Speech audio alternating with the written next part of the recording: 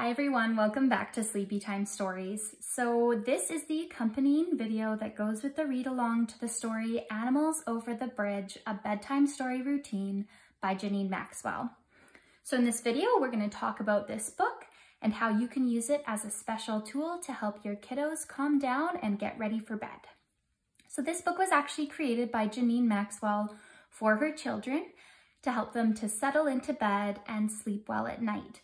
She found that there were other people in her family and in her community who had similar difficulties in helping their kids wind down before bed. And so she shared this bedtime story and technique with them and found that it worked. And because of all of that, she decided that it might be a good idea to share so that other families can have access to this awesome routine.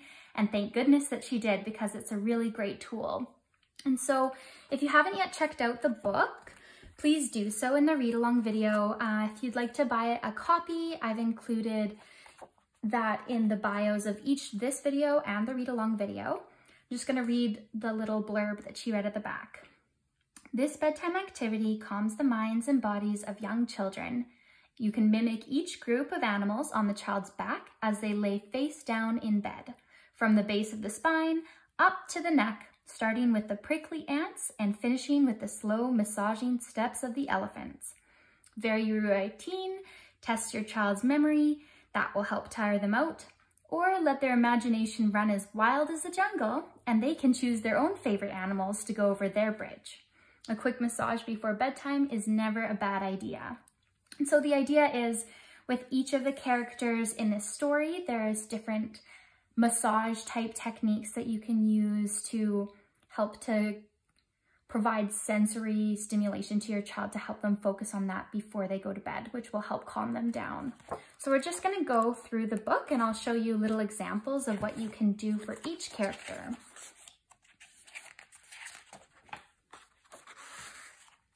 So for the prickly ants, you could do something like this. The hopping frogs, the slithering snakes, the playful chimpanzees, the hippos tiptoeing past, and the crocodile swaying to and fro,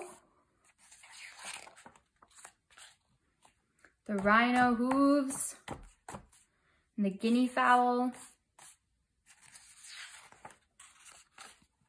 the zebras, and the giraffes, the lions, and the elephants. And so if you have two parents present, you one can do the reading and one can do the little hand massage on the back. Or if you're good at memorizing, this is a great opportunity to practice that skill. You could be creative and fun and come up with other animals or let your child pick out which one they want next.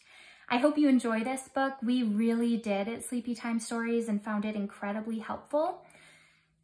All the credit obviously goes to Janine Maxwell. She did a fantastic job with this book. You can purchase it online at various websites.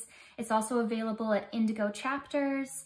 So yes, please support this author and illustrator in this fantastic work. Check out this book and I hope you enjoyed the demonstration. Until next time, sweet dreams.